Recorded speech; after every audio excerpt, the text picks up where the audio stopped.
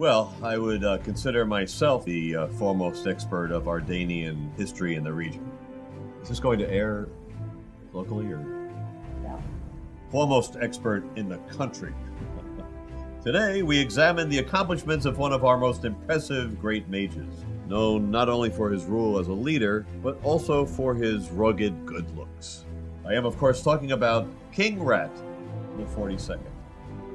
King Rat was able to balance conquering his enemies, forging alliances with friends, researching powerful spells, discovering portals to new realms, and managing a thriving economy.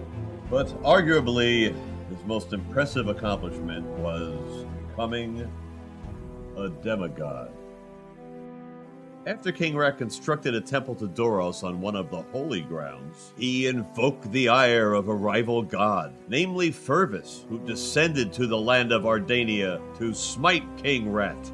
With his troops dwindling, King Rat finished researching a devastating spell, which he promptly cast on Fervus, destroying him in a spectacular display of rat versus deity aggression.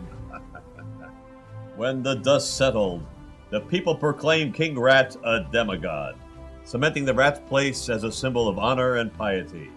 Its scent, said to be the scent of royalty, its image inspiring buildings and public areas everywhere, such as St. Rat's Cathedral, Ratterton Square, among others.